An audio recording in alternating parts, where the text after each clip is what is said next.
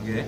Okey. Ha, ini adalah baju yang dia pakai ketika melakukan samun di dalam lift di MRT pintu B. Cukur rambut bagi mengelak daripada dikesan polis. Tindakan itu dilakukan oleh lelaki yang membelasah wanita di dalam lift dekat stesen transit aliran masa MRT Taman Mutiara Ceras Khamis lalu selepas rakaman kamera litar tertutup CCTV yang memaparkan kejadian itu tular di media sosial.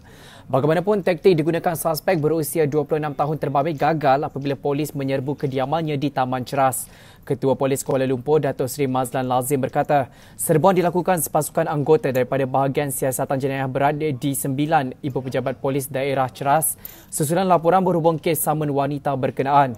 Katanya sewaktu serbuan, suspek didapati sedang mencukur rambut di dalam kediaman berkenaan. Suspek didapati mempunyai empat rekod jenayah lampau, membabitkan kes mendatangkan kecederaan dengan senjata, samun berkawan, memiliki dan menagih dadah. Sebabnya kita rampas ada 19 handphone yang mana kita dapati bahawa dia ni jenis Lone Ranger. Penyamun Lone Ranger. Ha, dia seorang-seorang. Tapi walaupun kita sedang dalam suasana lanjut sebab kita dapat tujuh hari kan